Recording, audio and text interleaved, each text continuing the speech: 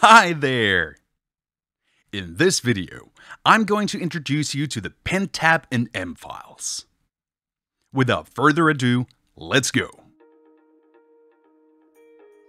The Pinned tab is a great way of keeping the documents and other objects you access frequently easily accessible.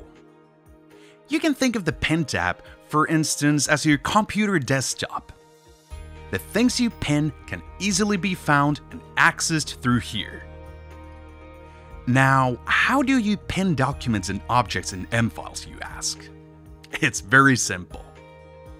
You can pin objects by either right-clicking them or via their metadata card. Very convenient.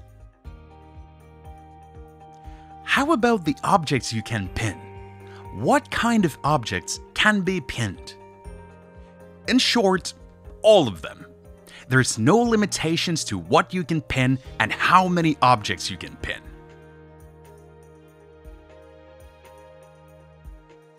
You can even pin views.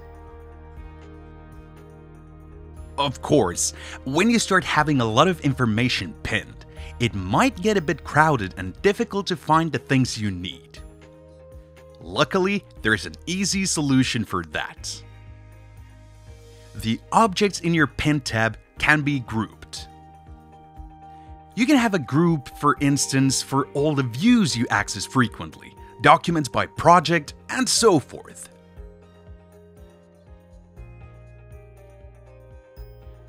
After creating your groups, you can easily just drag the objects to their respective groups and you're all set.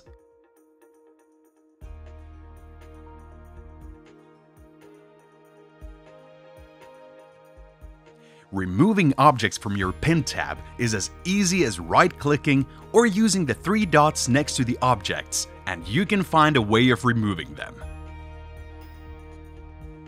To make accessing the Pinned tab itself even easier, you can make it your Home tab in your desktop application.